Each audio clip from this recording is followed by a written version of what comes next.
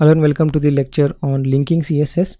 If you want to link multiple CSS together, not in an HTML, but from one CSS you want to link another CSS, that's what we're going to learn in this lecture. Okay, so let's create a folder.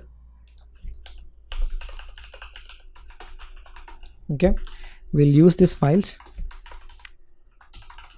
Okay, and we'll call it as linking.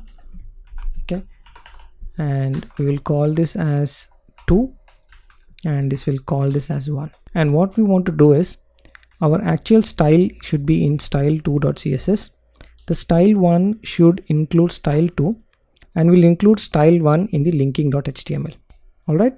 So let's do that example. So let's import the style 1 okay?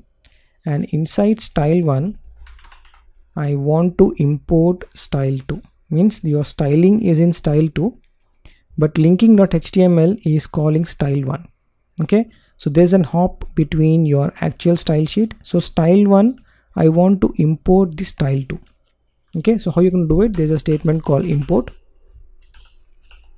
You can say style 1 style2.css okay? And you end with a semicolon. So what happens is when linking.html imports style1.css that is this file this file will import style2.css. So this file is already available in the HTML page. Okay, so let's look at the output now.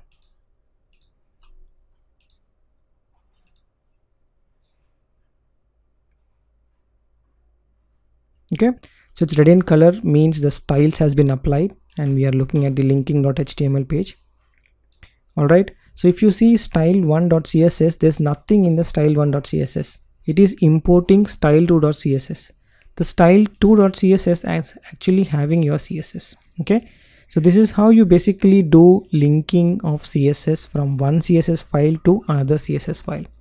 You can not only import css you can also import fonts and you can import some other resources that you want to import inside the css so once we go to that section we'll also try to experiment with the imports. All right the one good method of having this is you want you can split your css into multiple files right? You want to have a css for header. You want to have a css for you know the footer. You want to have a css for you know only the navigation menu. You can actually do that. And then you can have one css that is style.css which import all those css all those snippets of the css so this way you get to work with a specific small css and then you have all those css embedded into one css file which is nothing but the style.css which will import in the html file. Okay so what i mean by that is in conceptually you might have something like this. You will have header.css then you will have navigation.css then you will have content.css and then you will have your footer.css all right and when you go to linking.html you're only importing one css file okay? And you don't worry about all those imports that you actually have. You have like four css but you're not importing four css into the main html page. What you typically do is you write all those css you create one css which imports all the other css and you use that one css into your linking of your html page.